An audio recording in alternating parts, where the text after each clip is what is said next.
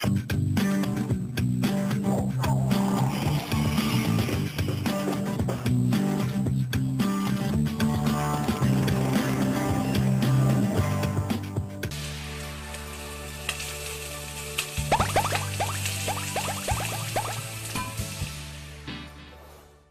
đón quý vị và các bạn đến với chuyên mục nấu gì hôm nay. Dạ, xin chào anh Thông ạ. Chào Minh, Dạ, xin chào chào, anh. Dạ. chào quý vị khán giả của chuyên mục nấu gì hôm nay.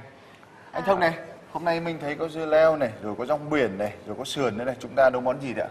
Như ờ, Minh và Khánh biết á, dưa leo ngoài cái ờ, việc để ờ, trang trí món ăn, ăn kèm với lại những cái món chiên cho đỡ ngán hoặc là làm salad hoặc trộn dưa nấu canh. Thì hôm nay để thay đổi khẩu vị thì Thông sẽ giới thiệu món canh à, sườn non nấu với dưa leo và rong biển.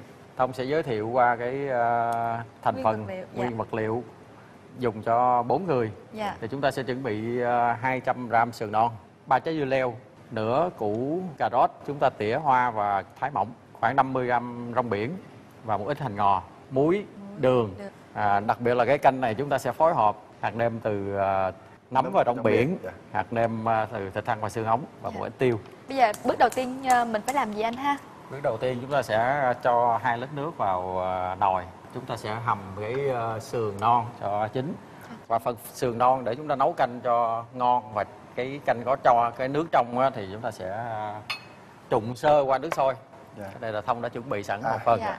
Phần ờ, dưa leo thì ờ, chúng ta sẽ cắt khúc như thế này. Dạ. Khi chọn mưa dưa leo thì chúng ta chọn trái à, có da bóng sáng, có, có độ xanh và trái không già lắm. Dạ. Còn cà rốt thì chúng ta sẽ chọn những cái à, trái có màu sắc đậm Đậm. và nó nó nặng tay, nó bóng da nó bóng. Dạ. Phần à, Rong biển. rong biển thì chúng ta sẽ ngâm vào cho nó à, nở ra. Dạ.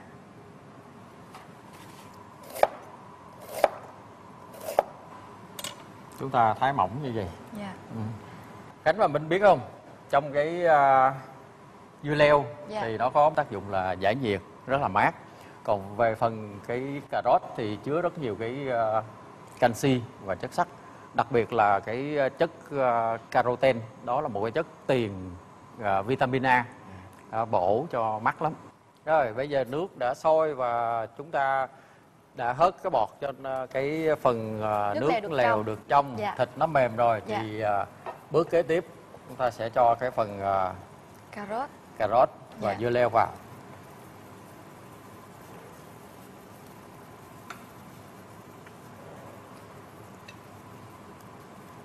Chúng ta bỏ vô đến khi nào mà cà, ló- cà rốt và dưa leo chín luôn hả anh? Canh này à, phải có một cái độ giòn Dạ. riêng biệt. Dạ. Ừ. Anh Thông này sao mình không cắt dưa leo nó nhỏ chút xíu để tí mình ăn cho nó dễ nhỉ? Sao cắt miếng lớn thì sao tí mình ăn ạ? Cắt như vậy thì à, giữ được cái độ giòn của dưa leo. À. Nếu chúng ta cắt nhỏ quá thì cái à, Nó sẽ bị dưa nhũn leo ra, sẽ đúng nhũng mềm. À, mềm. Anh ơi còn rong biển nữa nè, nãy giờ Lê Khánh thắc mắc là đây không biết là loại rong biển gì và cách chế biến nó có khác gì so với những loại rong biển khác không anh ha? À nói về rong biển thì nó có chứa rất nhiều canxi và khoáng chất giúp cho hệ xương phát triển rất tốt. À, nếu tính về cái à, so với những cái thực phẩm như bơ sữa thì rong biển nó có cái tỷ lệ canxi và chất sắt gấp 10 lần. Dạ. Và có hai loại rong biển, một loại mà như chúng ta sử dụng hôm nay đó Dạ. thì à, người ta gọi là cái này gọi là rong biển à, tươi được sấy khô Dạ. nó có cái tên là- của Nhật gọi là wakame còn một dạng mà rong biển mà các bạn thấy là nó một cái tấm mà được đặt cán mỏng rồi dùng cuốn sushi Dạ. thì đó là rong biển được sấy qua có tên là nori Dạ. à. Thì phần này chút xíu chúng ta sẽ đợi canh chín và chúng ta cho cho vào và Chứ chúng ta lấy liền không nấu chung với lại canh luôn đúng không Đúng anh? rồi. Anh như vậy thì trong quá trình này thì à, mình đã nêm gia vị chưa? bây giờ thì à, chúng ta sẽ bắt đầu nêm Dạ, à, vâng. đầu tiên sẽ nêm vào à, một ít muối Một ít muối. Dạ. rồi kế tiếp là đường Khoảng hai muỗng đường đúng không hai muỗng đường Tiếp theo là hạt nêm từ nấm và rong biển. đúng rồi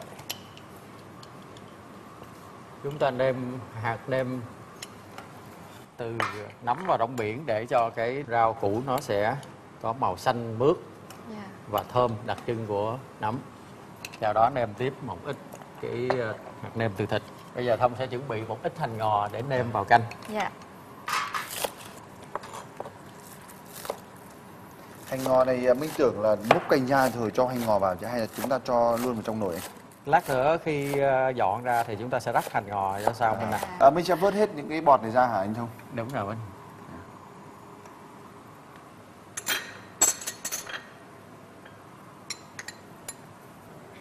À, rồi bây giờ thì món canh đã hoàn tất.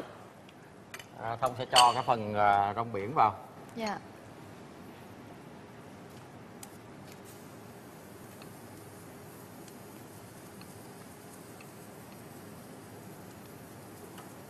Bình có nghe thấy mùi thơm chưa? Ừm, mùi thơm của rong biển. Rồi bây giờ cuối cùng thì à, chúng ta múc ra tô. múc ra tô.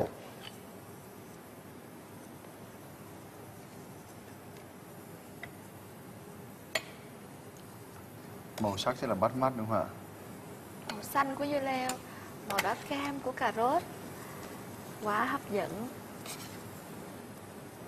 Vâng như vậy thì chúng ta chế biến món ăn này cũng không quá cầu kỳ đúng không Khánh? Đúng Các rồi. nguyên liệu cũng hết sức đơn giản, dễ tìm, dễ mua nữa. Ừ.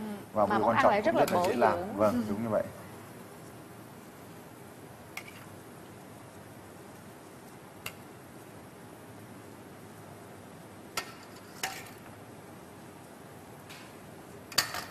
Vâng, như vậy là chỉ trong vòng chưa đầy 15 phút thôi là chúng ta có được món canh rất là ngon và bổ dưỡng. Cuối cùng chúng ta rắc à, hành ngò và một ít tiêu vào. Tiêu. Dạ. Rồi như vậy là món canh của mình đã hoàn tất. Vậy là đã hoàn tất rồi đúng không ạ? Vâng và bây giờ thì à, xin phép anh Thông cho Bình Minh và Lê Khánh thưởng thức nhé. Mời Khánh qua bên này. Xin phép anh Thông. Đây, phần của Lê Khánh đây. Dạ, cảm ơn Bình Minh.